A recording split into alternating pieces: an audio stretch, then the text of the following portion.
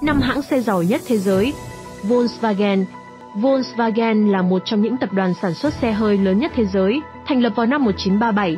Thị trường chủ yếu của hãng là châu Âu với những thương hiệu xe nổi tiếng như Audi, Seat, Lamborghini, Bentley, Bugatti.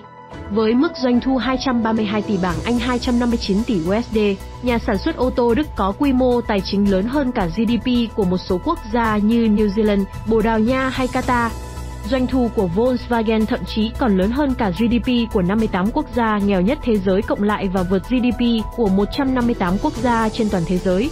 Mức doanh thu của Volkswagen cũng chiếm tới 6,81% GDP của nước quê nhà Đức.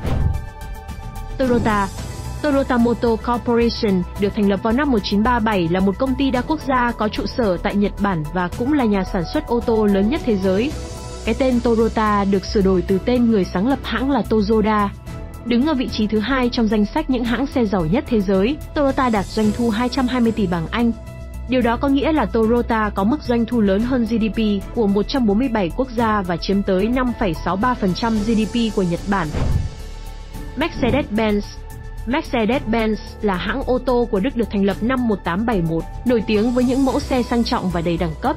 Với chiến lược Electric Only được Mercedes-Benz thông báo cuối năm 2021, kể từ năm 2025, với mỗi dòng xe yêu thích của hãng đều sẽ có lựa chọn thuần điện thay thế. Với doanh thu 140 tỷ bảng, Mercedes-Benz vượt lên trên GDP của 137 quốc gia. Đây là con số ấn tượng với một hãng xe sang không có quá nhiều thương hiệu con. Tại quê nhà Đức, Mercedes-Benz chiếm 4,15% GDP.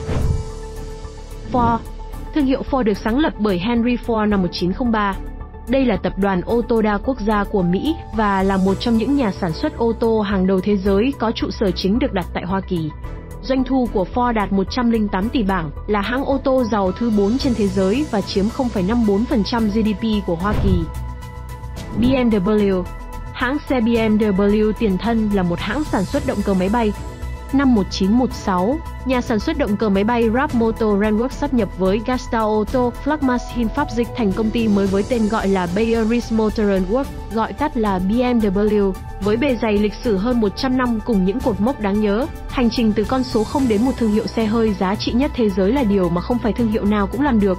Doanh thu của BMW hiện đạt 103 tỷ bảng, chiếm 3,04% GDP của Đức và là hãng ô tô giàu thứ năm thế giới. Thank you.